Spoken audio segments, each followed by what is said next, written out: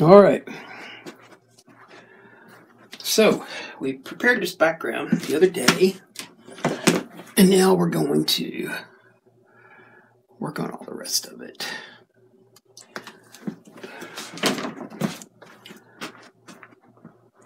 So, get all my stuff ready here. Oops. So basically, we'll be using four colors, Alizarin Crimson, which we'll wait on the palette now. Well, not counting black, we'll be using black at some point, but bright red. Let's see, hope I have some left in this tube. We may, we may not. I don't know. Oh yeah, plenty. All right.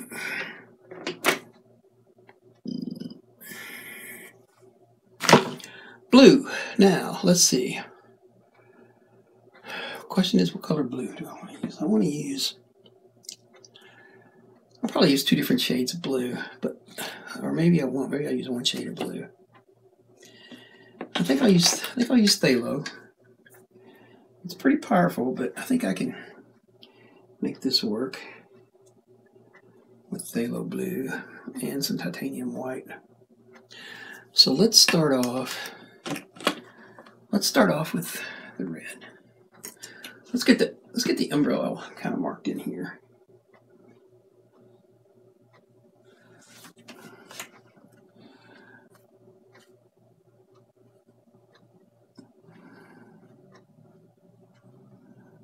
Now I'm not adding any medium to the canvas yet. I may, but... All right, so I think I will. I think it'll make it go a lot easier if I do. Where's my little cups? Don't have any, so let's use a plate. We'll just use a plate.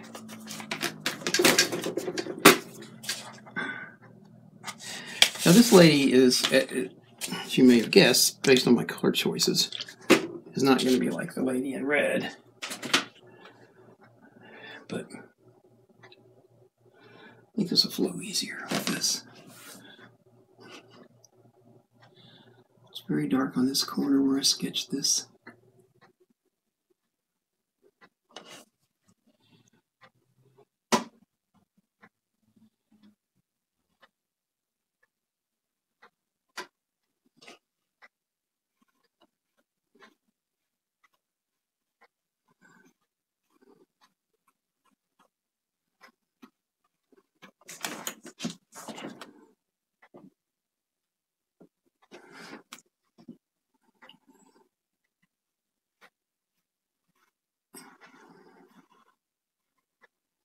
I'm sort of kind of right here in the beginning, kind of glazing this on.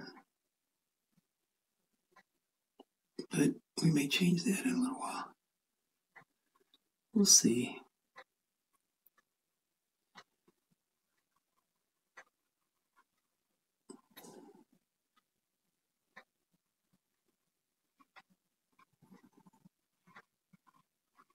See how this idea of mine goes. We'll probably just layer additional coats on as we get get closer to finalizing it. Because this is really we're kind of blocking this in.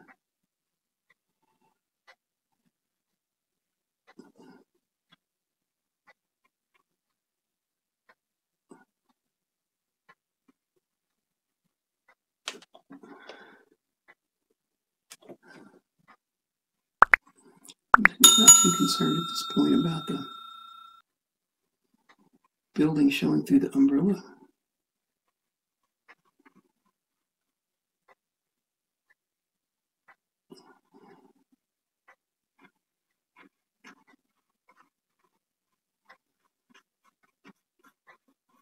All right.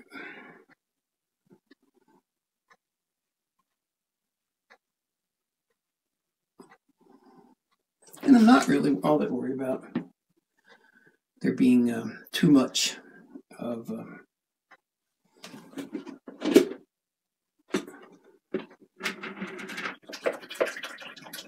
too much of that showing through. I can I can always add more coats, and, and darken that on out if I if I want to.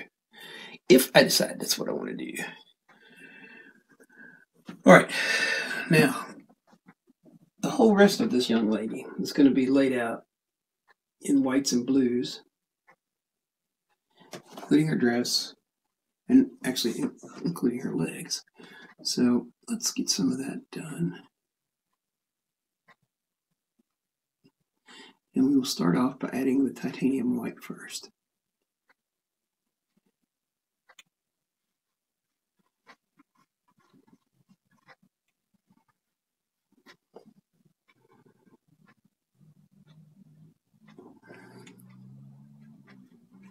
kind of like the white, we're going to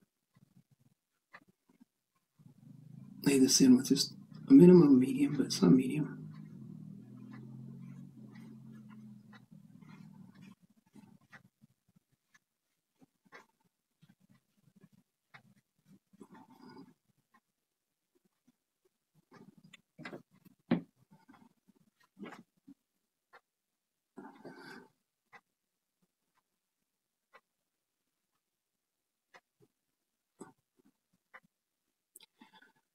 little painter girls at work today, so she and I were kind of talking about this painting quite a bit the other day. But um, she had to work today, so you gotta eat. You gotta eat.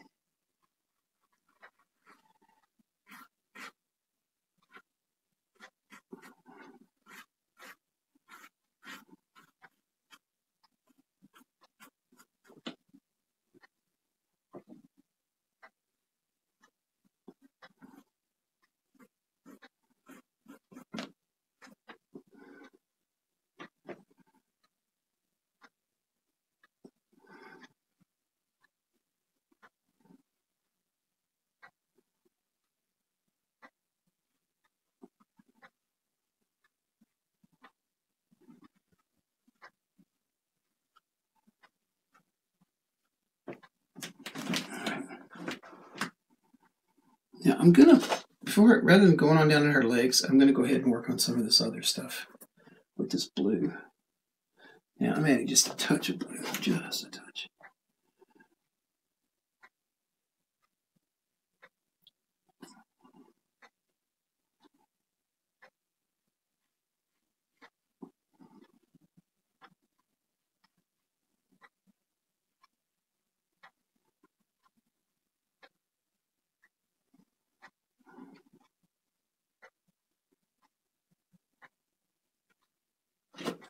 Don't want to get don't want to get a crazy, crazy, crazy amount of blue going, but I am gonna get some going.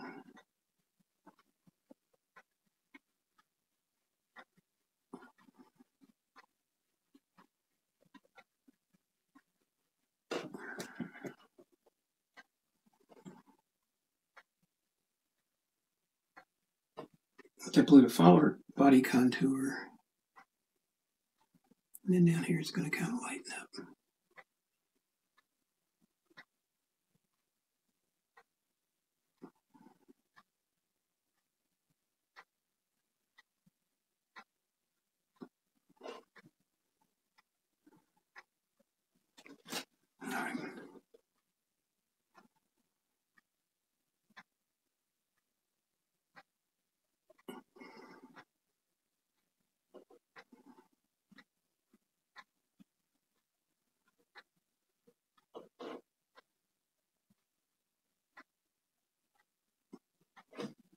You have to work blending these paints a little more than, than you do when they're just you're throwing medium up there. And I'm taking my time. I'm not trying to get you know all this blended at one time.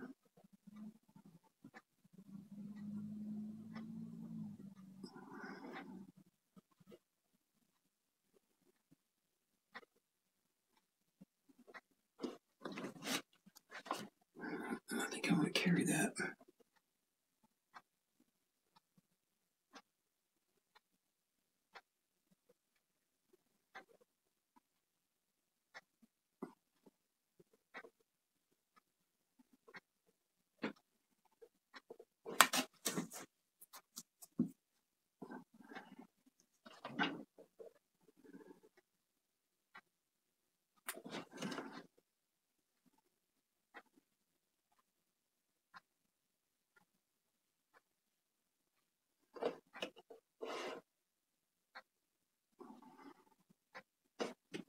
Okay.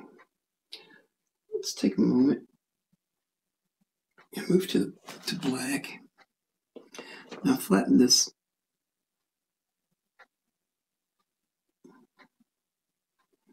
brush down really flat. Just to crease these lines. In some cases, they're going to be more like shading than actual definitive lines.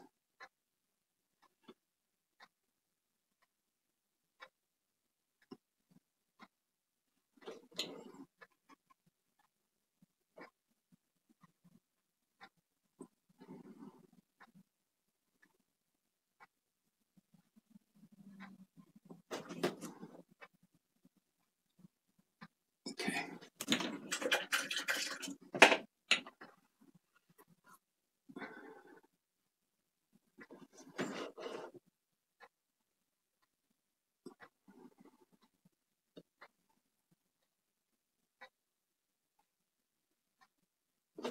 So we kind of let, let that paint sit up just a little bit. Set up, not sit up. Kind of sounded like I said sit up, but that, that wasn't what I said. If it was what I said, it wasn't what I meant to say. Here we go. All right, we're just thinning some of these lines back by adding more paint. That. All right, now we'll let that go for a little bit. Oh, you know what? I'll tell you what. Let's, as long as we're working with the red, let's go ahead and put this. There's two ribbons here.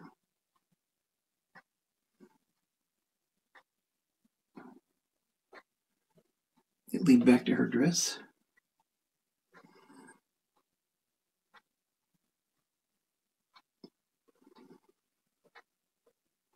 It's kind of blowing in the wind. Come around, around her waist.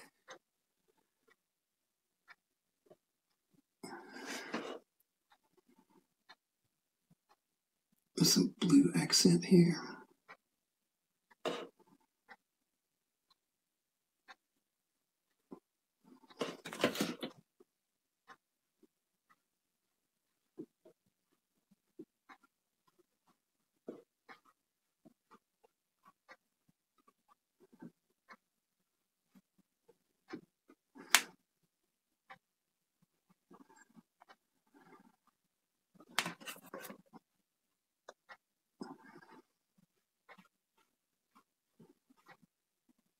All right. Uh,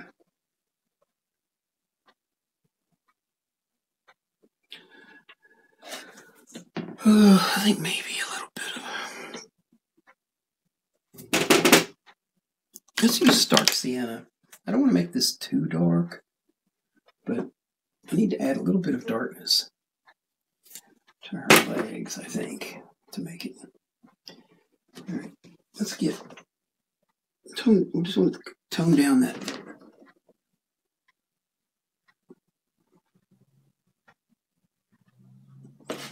All right, let's set that brush aside for a second. Let's move to. I'll move to this script liner. I'll take most of the medium out of it. Mix some of this brown and this blue together.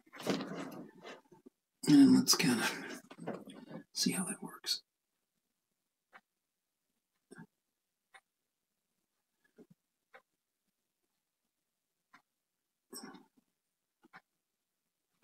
Don't mess this curve up too much because I'm going to make her look bow-legged or something.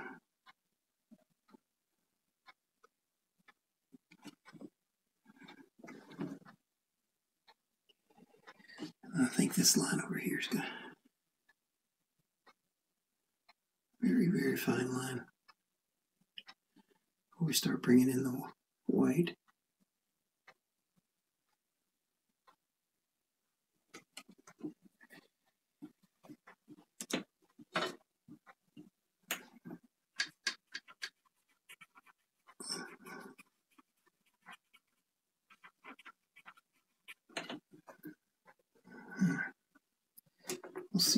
second, I guess.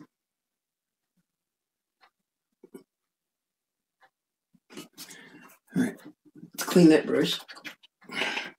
We'll start adding the lighter color, which will be kind of this bluish white. And start adding that in.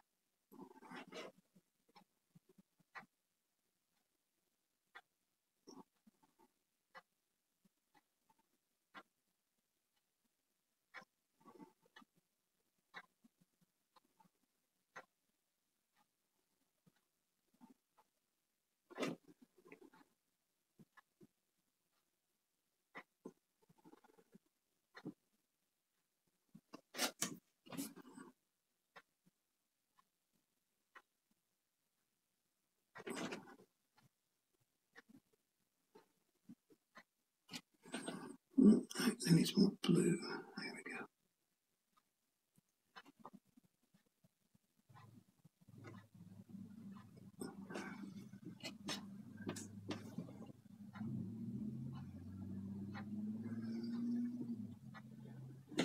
All right, let's add just a little more blue in a few places. Here on our by the umbrella.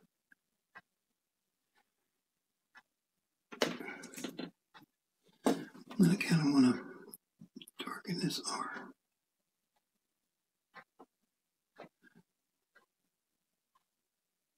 Them.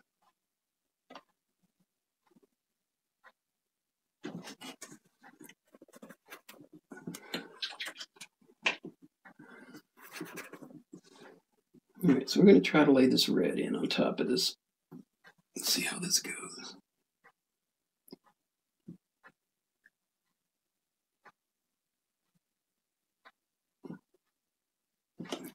Actually, that worked out pretty good.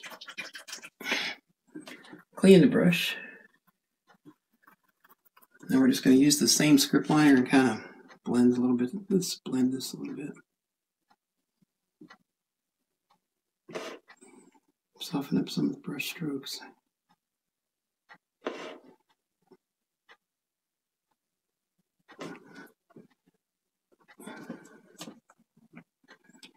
Yeah, I think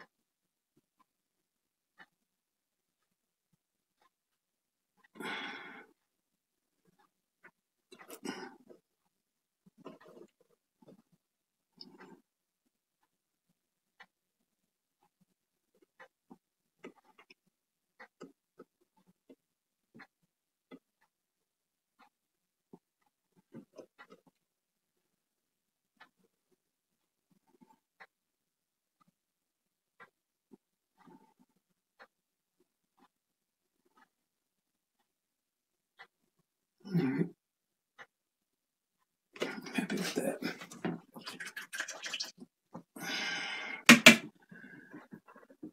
I'm gonna add a little bit of some highlights to this umbrella.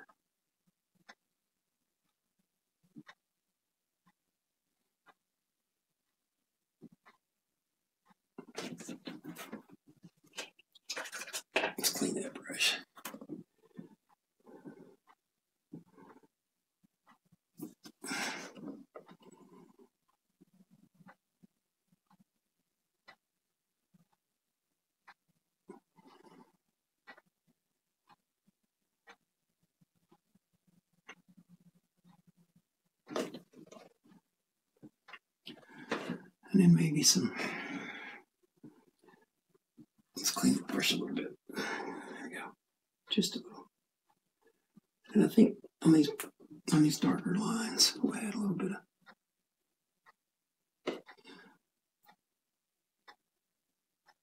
just a little bit of highlight like this.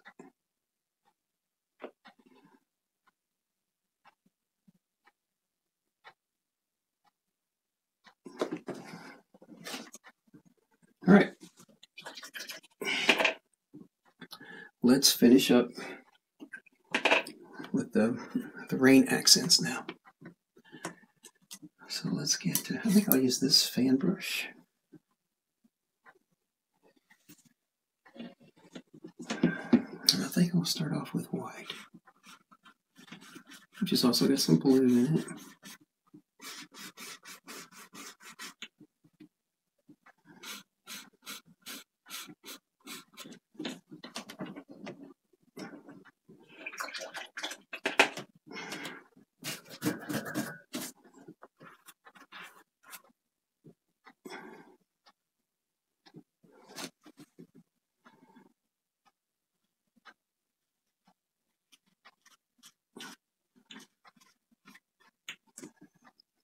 Let's clean the brush again.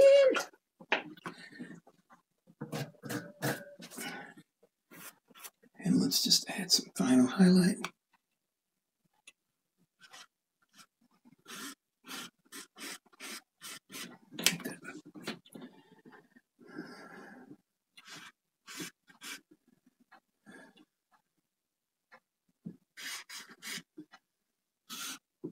All right, gonna clean the brush one last time.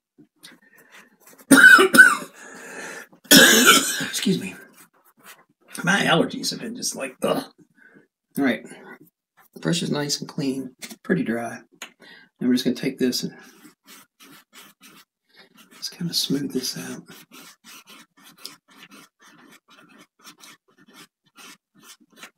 There we go. Like that. All right. And with that, oh no, I think I got a little bit more blending. I think I might want to do. Uh, let's see. Can I do it with this brush? I could probably do this brush. I think I want to add a little bit more blending to this dress.